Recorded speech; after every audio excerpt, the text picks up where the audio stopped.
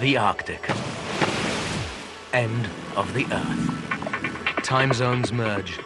Longitude begins. And life exists perilously close to death. Survivors of this deadly, fragile world are unique and awesome.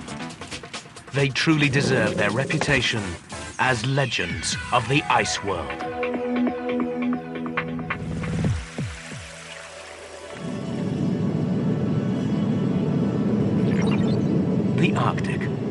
A zone of endless ice and perishing cold.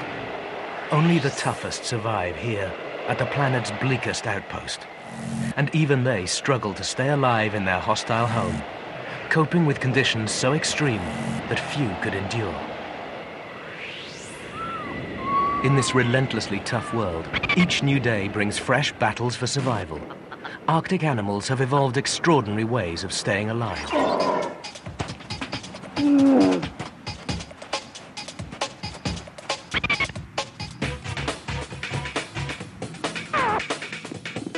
The deadly beauty of the North Pole. Here, the planet spins on its own axis, a colossal slab of ice that stretches over an area of 10 million square kilometers, from Russia to Greenland, Siberia to Scandinavia.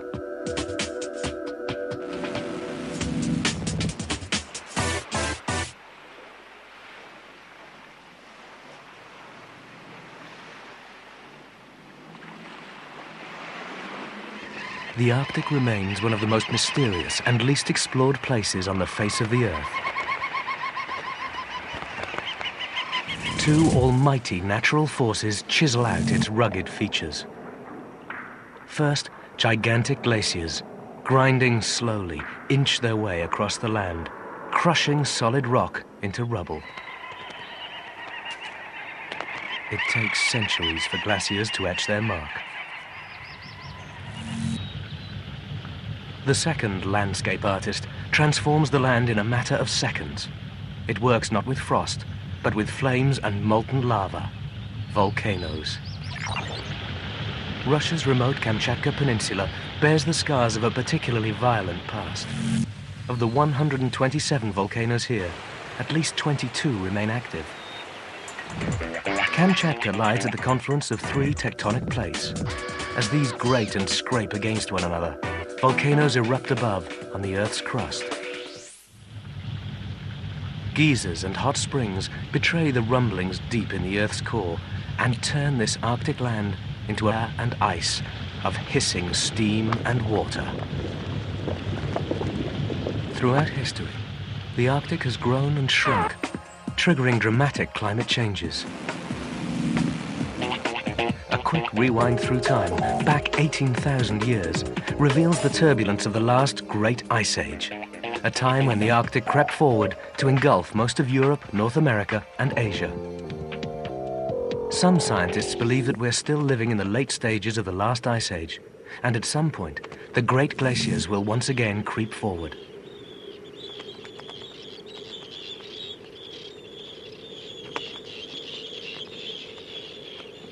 Long Arctic winters cause the surface of the sea to freeze all year.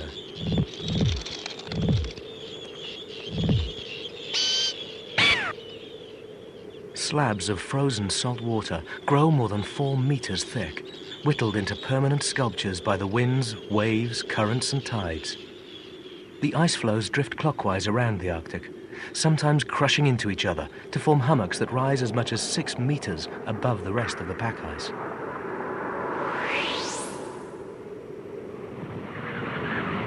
As winter draws to a close, a polar bear rests near her den, still stiff and groggy with sleep from her long hibernation.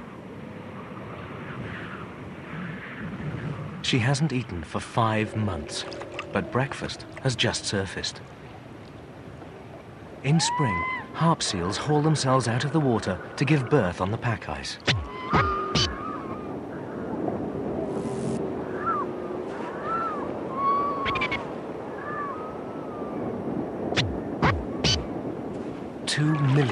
Seals live in the Arctic. Beneath the ice, they torpedo through the water with grace and ease. Once out of the water, though, they appear slow and cumbersome. Blubber and skin account for nearly 60% of a young seal's weight. When the seal dives, water pressure squeezes out the trapped insulating air, but blubber cannot be compressed, so it keeps the seal warm both on land and in the water.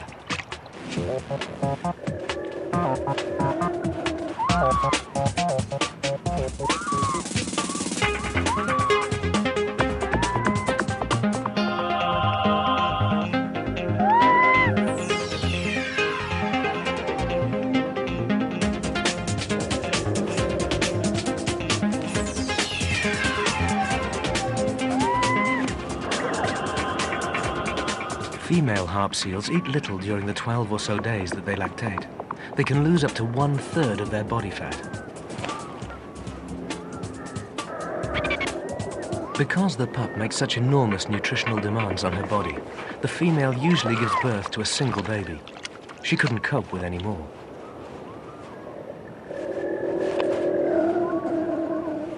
The sooner the young pup can lay down its own thermal layer of blubber, the better. To fatten it up, the mother's milk is as thick as mayonnaise. It has an incredibly high fat content, up to 69%. The pup balloons, gaining about two kilos a day, and within a fortnight, it has quadrupled its weight. It is one of the fastest growing of all mammals.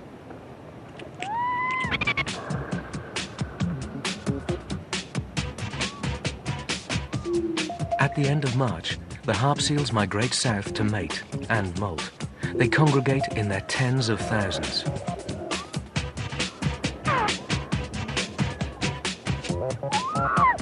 The pup now weighs more than 30 kilos. It will soon lose its fluffy white fur and grow the waterproof coat of an adult.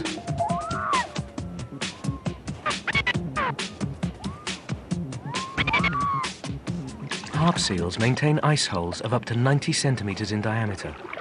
They use these as access to the sea and also for breathing breaks during underwater fishing expeditions. In the breeding season, up to 40 seals may share the same icy gateway.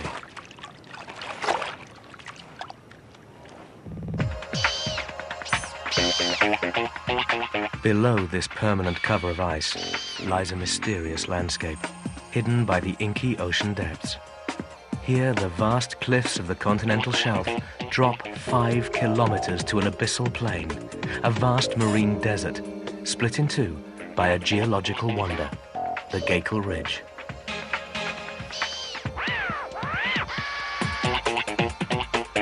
It is a staggering 1,800 kilometers long. Along the sea floor, hydrovents release gases and water at temperatures of up to 400 degrees centigrade. Strange life forms flourish in the scalding mineral soup. It's a world apart from the frosty surface. Emerges, a harp seal finds itself face to face with the biggest land killer in the world. Polar bears need to claw back the weight they lose during hibernation, so they guzzle as much calorie-rich seal blubber as possible.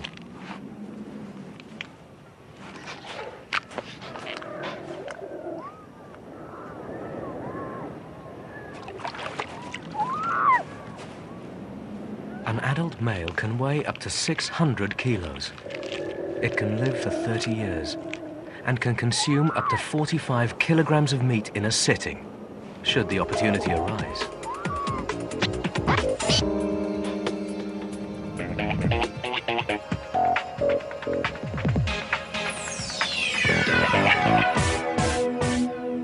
For five long months, the polar bear has been holed up in her winter snow den.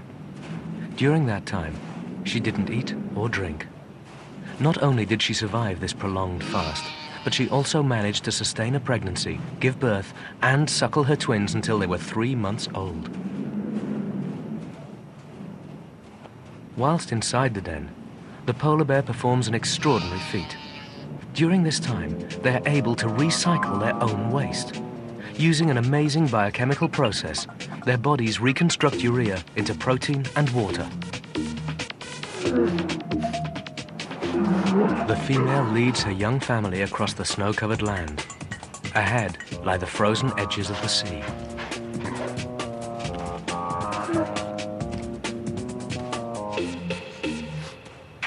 While she checks for danger, the cubs wait nearby, taking in the smells, sounds, and sights of their kingdom. This Arctic wasteland might not seem the most obvious habitat for such a huge predator, but polar bears have made this icy realm their own, thanks to a set of amazing physical adaptations.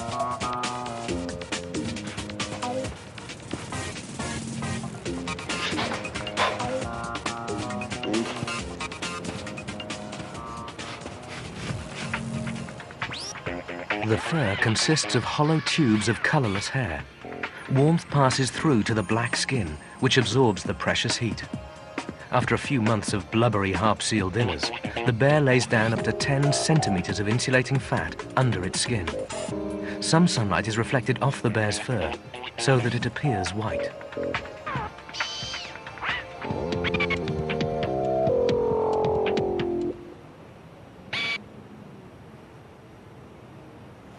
Precious warmth escapes from just two weak spots its footpads and nose, the polar bear's Achilles heels. Evolution has whittled these down, so a polar bear's eyes and ears look tiny compared to the rest of its body. Polar bears are so efficient at retaining heat that in summer they can in fact overheat. Sometimes they even have to stop and rest just to cool down.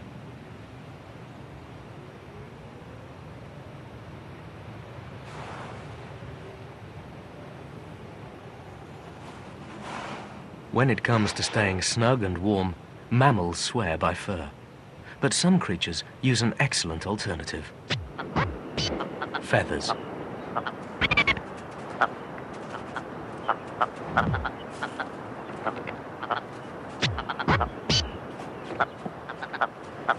The ptarmigan, Ice Age survivor and feathered master of the cold. Its fluffy coat stretches from the end of its beak to the tip of its claws. The ptarmigan's thick feathers make a snug, warm coat that means it loses heat in just two places. Its face and its feet. Ptarmigans molt from pure white in winter to blend in with the snow, to a mottled brown in summer, when patches of earth appear.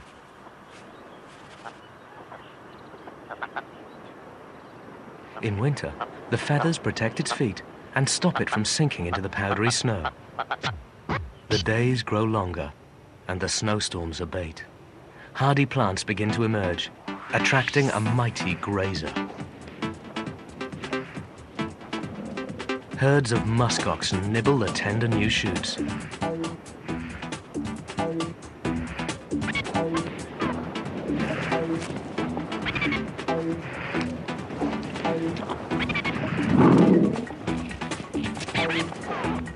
Relics from the Ice Age, muskoxen once rubbed shoulders with mammoths. Related to goats and sheep, muskoxen have roamed here for 12,000 years.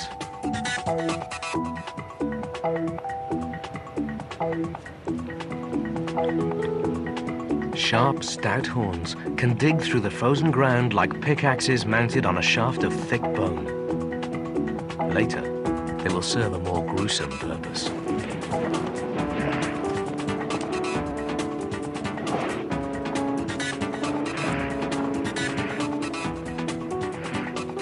Ankle-length guard hairs form a long skirt that shields the muskox from the worst of the bitter winds. Some hairs grow up to 60 centimeters long. Beneath this curtain of tough hairs lies a warm, petticoat-soft wool.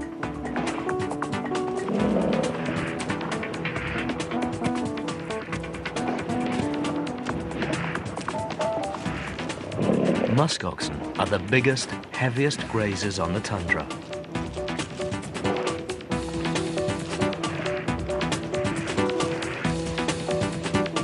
they dine on grass, lichen, mosses and the other small plants that spread across the tundra.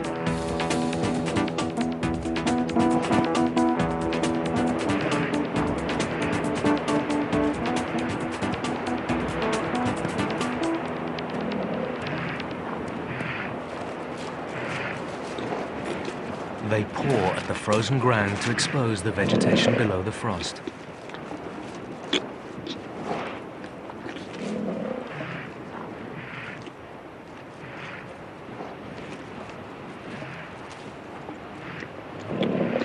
They have a hefty diet and travel up to two kilometers a day to satisfy their appetites.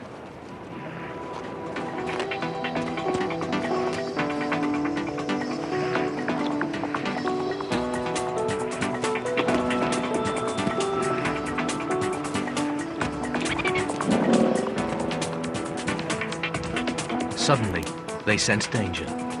The young gallop back to the herd, and the adults bunch together in a most unusual defense strategy.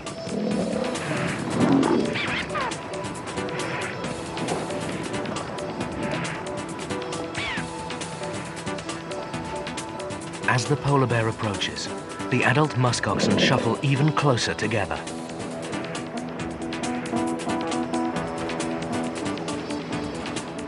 The bear faces a solid wall of muscle and horn. Behind it, the youngsters are protected. He could never break through.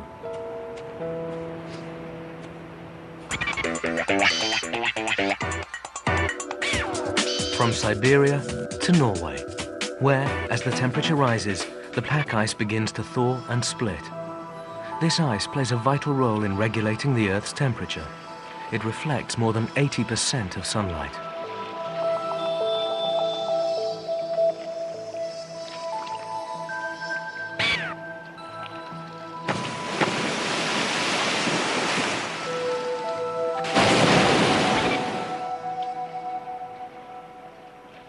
Is in the air, or rather, on the wing. Seabirds fly in from thousands of kilometers away to court, mate and breed in the Arctic. Before long, the waters teem with common scoter and long-tailed ducks, prancing, preening and performing. Black guillemots too join the flirting crowds.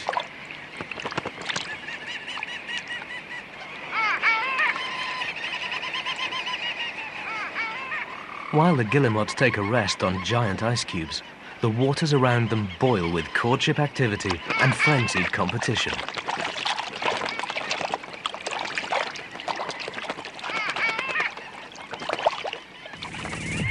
Further south, where the snow has melted, long-distance travelers set foot on land for the first time in many months. Little auks spend most of the year out on the rough seas feeding on plankton and small crustaceans and sleeping on the water. But in summer, they flock to the cliffs to breed.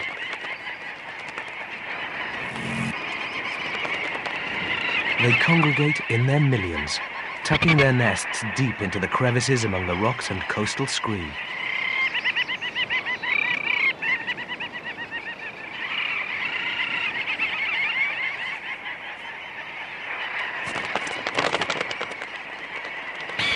Crowds of puffins take up residence in this sea cliff city.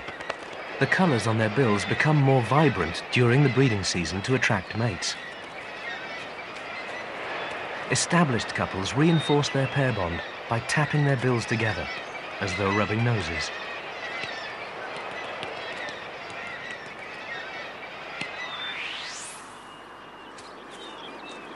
It's early May, Further down the valley, a snipe's drumming courtship call finally attracts attention.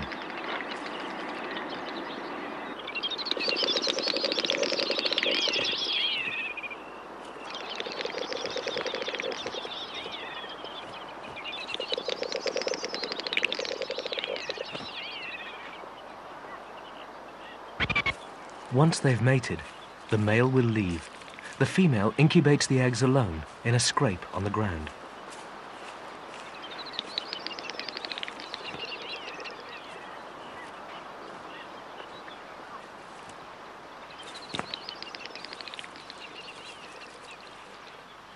Other bird fathers stick around for much longer.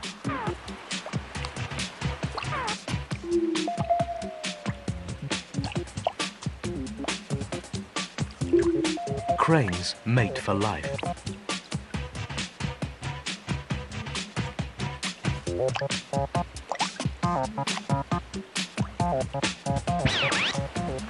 The crane family includes some of the tallest flying birds on Earth, standing nearly two meters high.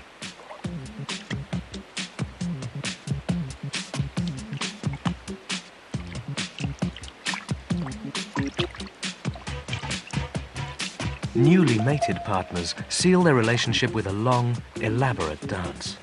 An established couple flash their two-meter wings. The dance will help to reinforce the bond between them.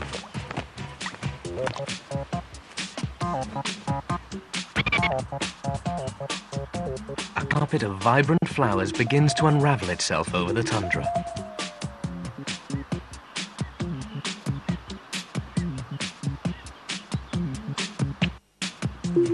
Lush vegetation attracts a summer visitor with magnificent headgear.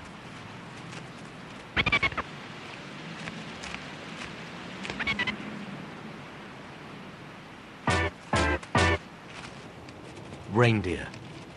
They migrate up to 2,500 kilometers twice a year and can cover up to 55 kilometers in a single day. At the end of winter, herds thousands strong arrive on the Arctic tundra to spend the summer grazing.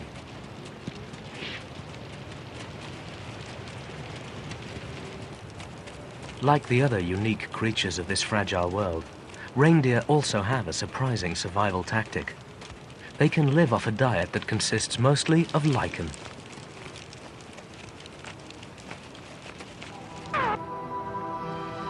Through their eyes, the bleak ground turns into a banquet of lichen.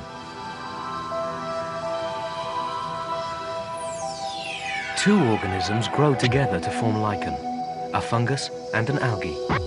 The fungus provides structure, while the algae provides food from photosynthesis.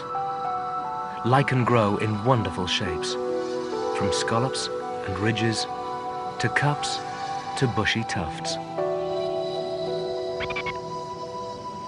The so-called reindeer moss grows no more than five millimeters or so a year.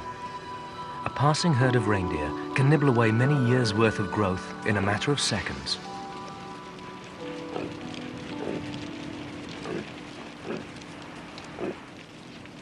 By early June, most of the reindeer cows have given birth mid-migration.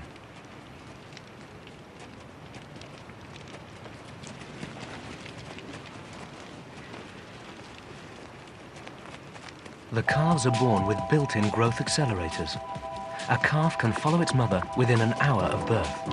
And by the time it's a day old, it can outrun a human. It must keep up. The marching herd won't wait for stragglers.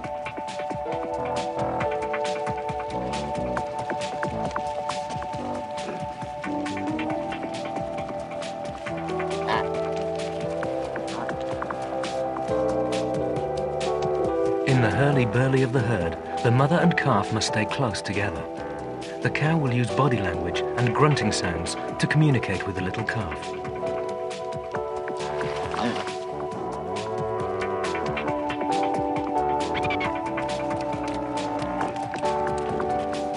Caribou means shoveler. It refers to their broad hooves, which serve as snowshoes in winter, paddles for swimming across rivers, and scoops to dig up food.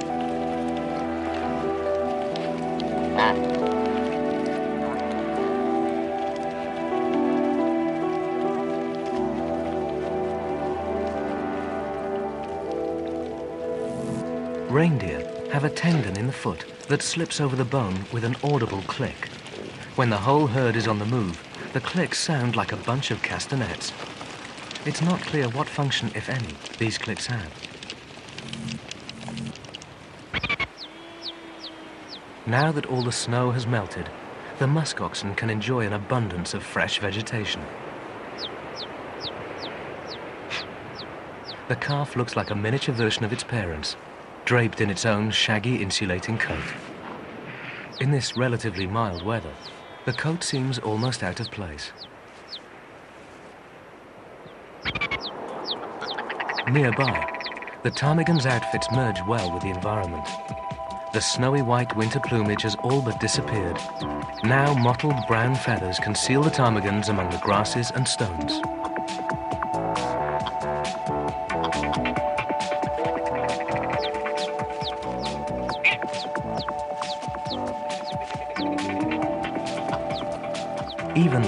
Chicks have excellent camouflage to conceal them from predators.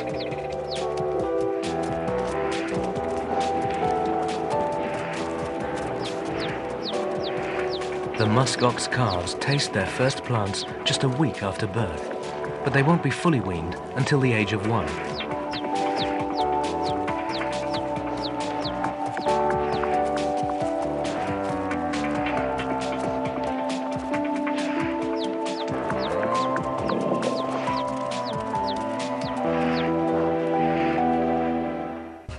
Further south, on the tundra, things are getting hectic.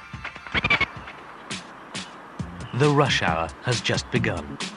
Anxious parents face their greatest parenting challenge yet. The dwindling summer days mean that they must soon take their leave. Time is running out.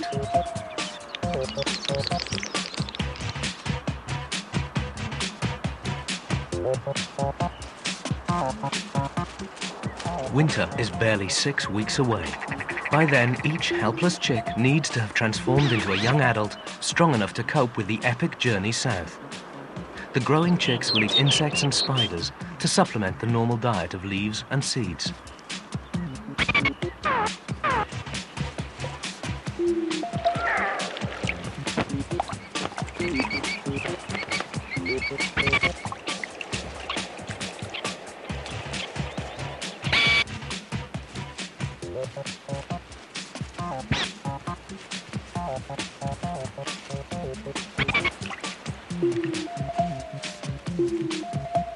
Biological race, only the fittest survive. All over the tundra, hungry mouths beg for food. Snow buntings deal with an extra challenge. Their young are confined to the nest and totally helpless. The adults have to spoon feed them every mouthful. At least young ducks and goslings can scoop up their own food, though they still require constant supervision. The parents work hard to keep their broods in order. The Eurasian dotterel female dodges the hard work by mating with several different males. These devoted fathers then take on sole responsibility for incubating and raising the chicks. For thousands of years, the Arctic has been home to indigenous populations. Over the past few centuries, whaling and mining stations appeared. But few outsiders were able to withstand the rigors of the Arctic. As soon as humans abandoned the town, nature reclaimed it. Kittiwakes quickly settled in the ruins. Once again, the small Arctic town echoes to the sound of a thriving community as seabirds make themselves at home. One bird, though, never settles down. The migration record holder, the Arctic tern.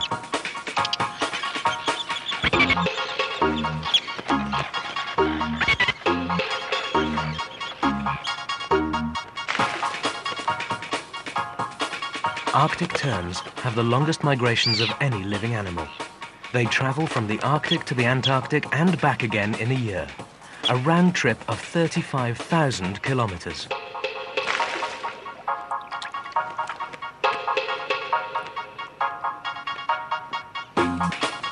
This staggering journey means that Arctic terns chase the seasons on a whistle-stop tour of the globe.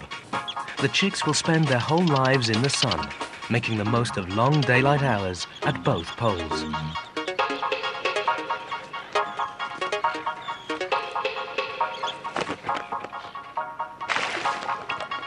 They break their journey in the Arctic to breed. Both parents help look after the chicks, feeding them on krill, shrimps, and sandhoppers.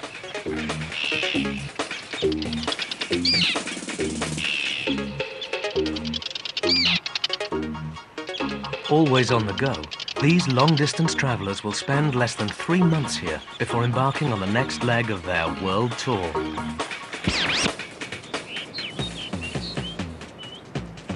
The abundance of vulnerable young animals attracts one of the Arctic's hunters, a red fox. Not that the bluethroat needs to worry. The fox has something warm and furry in mind for dinner. Lemmings. And at this time of year, they breed prolifically. Thousands of these guinea pig-like animals scuttle across the tundra.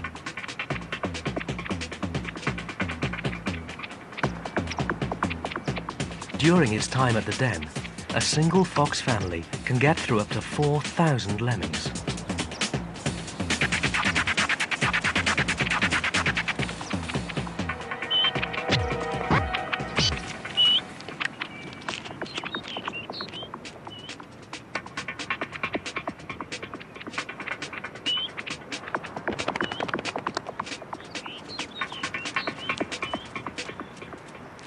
Fox is not fussy though, and will eat anything it can get hold of.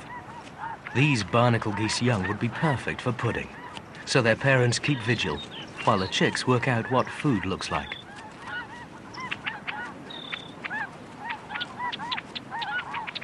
At first, they pack at most small marks, but they quickly learn how to tell what they can and can't eat.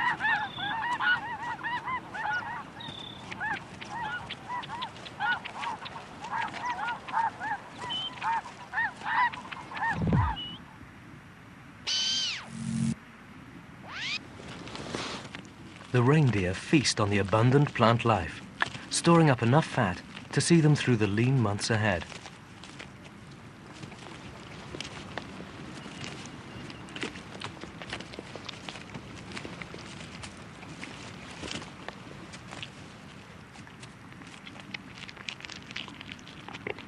After a long bout of grazing, they settle down to chew the cud, processing the food at leisure.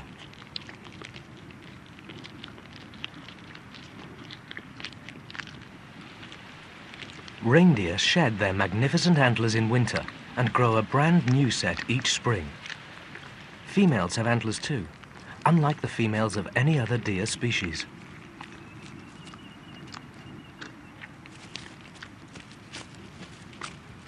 Antlers sprout from two knobs of bone on the deer's head. They grow at phenomenal speed.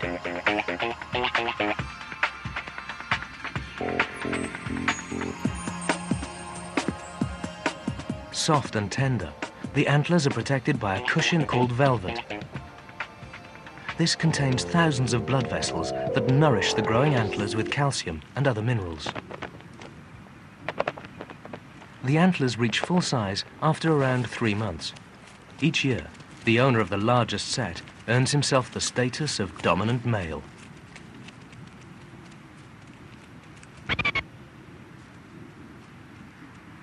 The Arctic summer dwindles and fades. Snow clouds begin to gather.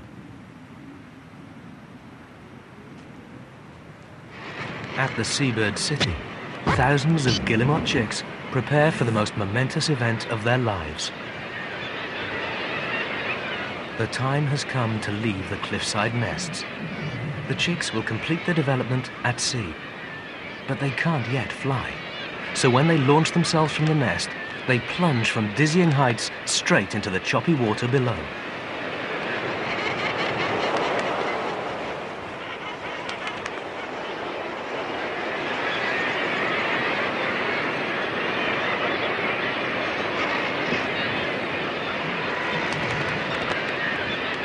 Not all will make it. The Arctic fox will see to that.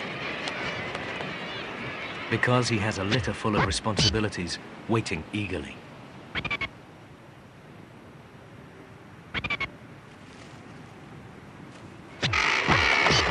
Arctic foxes live in dens dug into the ground. Here the parents raise their pups, sometimes helped by female foxes from previous litters. An Arctic fox den can be up to 300 years old, with a hundred or so entrances. Male Arctic foxes are among the most attentive fathers in the dog family. A litter can number anything from 6 to 16 pups.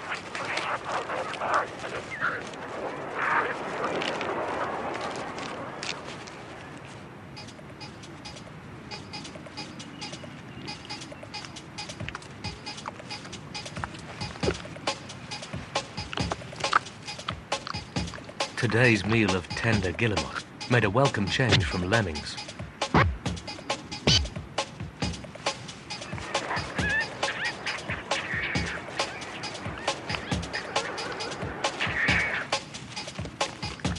Arctic foxes keep heat loss to a minimum by having little ears, blunt muzzles, short legs, and stubby tails.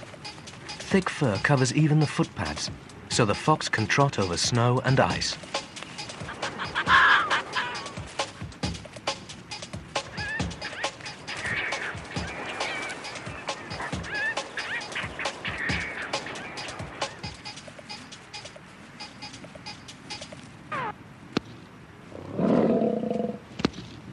Towards the end of summer, the musk oxen prepare for the rut. The males are so pumped up with testosterone that they will pit their strength against anything. Even a boulder deserves a battering.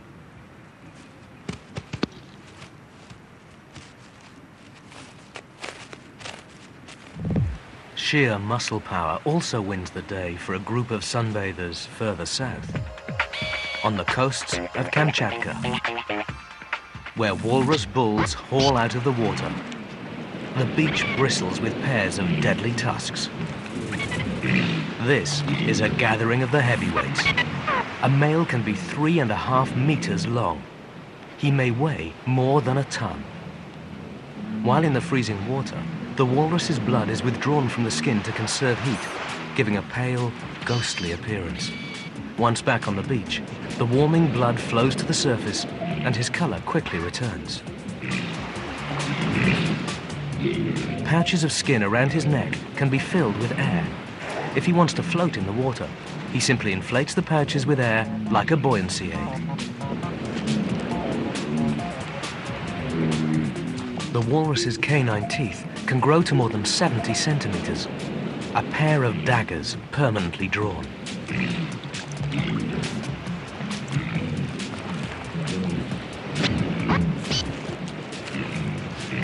Walrus's tusks are a status symbol. They signal his position in the hierarchy.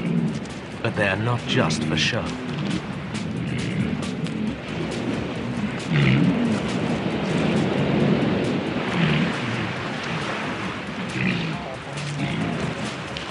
During battles for dominance, bulls joust fiercely with their tusks. The losers may pay a hefty price in terms of deep wounds and shattered tusks.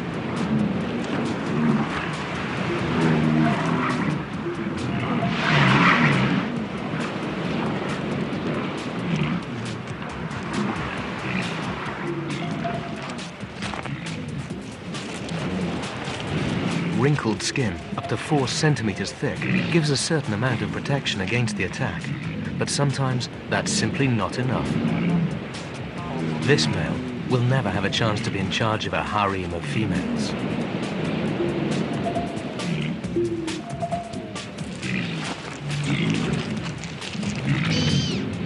Walruses have more blubber than any other similar species. Up to 400 kilos of fat, up to 15 centimeters thick which is why they look so much bigger than all other seals.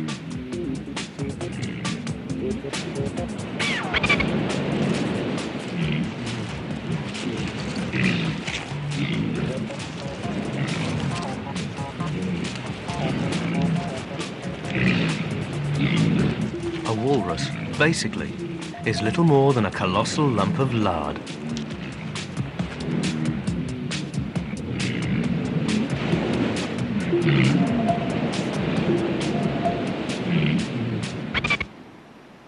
By August, the Arctic summer is drawing to an end.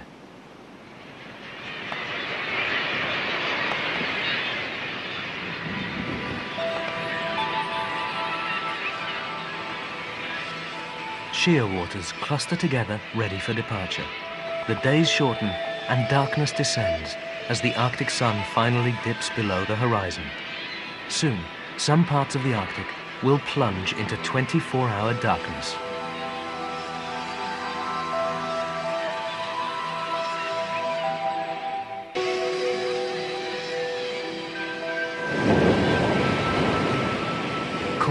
Congregate in the spume near rocks, and the Arctic fox has turned white again. Herring gulls sit out the first of the snow flurries, along with long-tailed ducks, while a redshank gleans sparse morsels from floating slabs of ice.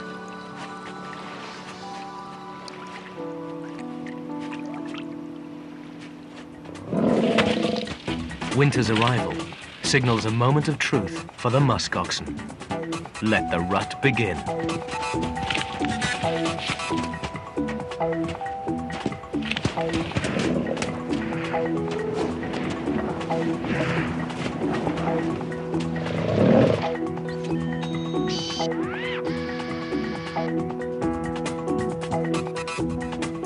The bull's skull must cope with collisions of up to 40 kilometers an hour. To prevent his skull from smashing, he has an inbuilt crash helmet. At the top of his head, the bone grows to absorb the impact of a head-on collision.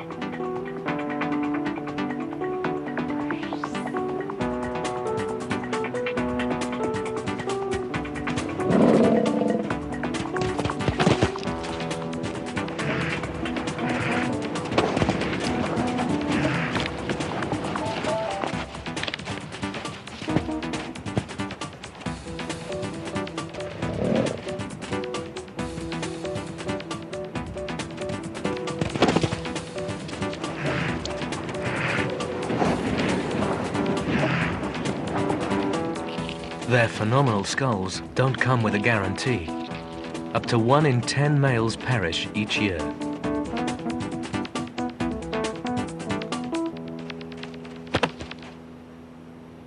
Meanwhile, the Arctic fox searches for a special friend. He has replaced his brown summer suit with a winter coat of pure white, an excellent disguise as he trots through the snowy landscape.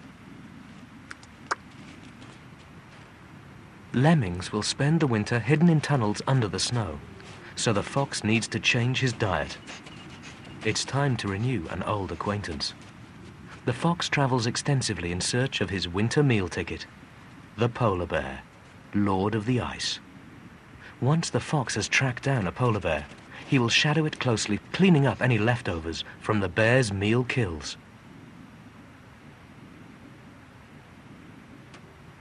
Fox and bear, a harmonious partnership between two legends of the Arctic.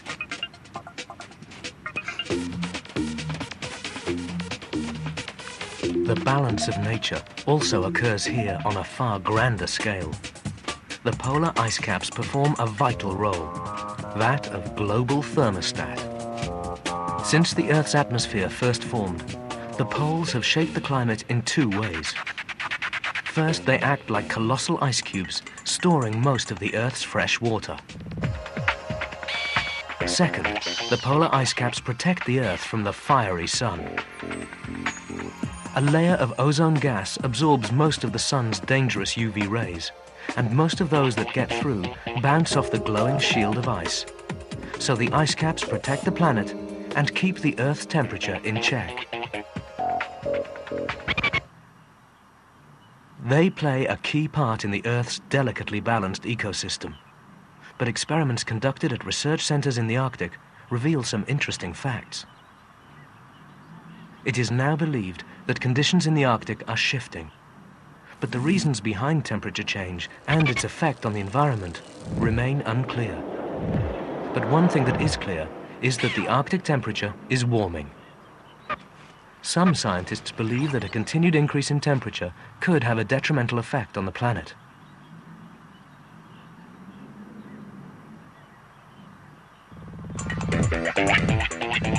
It may be that human activity is behind these changes. By releasing harmful gases into the atmosphere, we have contributed to the erosion of the ozone layer, and some argue that as a result, the ice caps are shrinking at an alarming rate.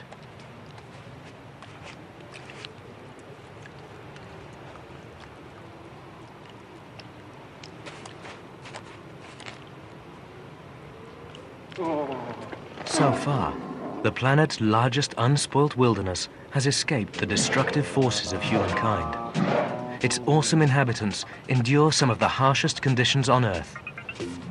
But unless we protect their icy homeland, many experts believe that they could perish and become extinct. Winter is just around the corner. When the sea freezes over once again, these adolescent cubs will venture out onto the icy sea to feast on harp seals. In the meantime, they patrol the beach for scraps.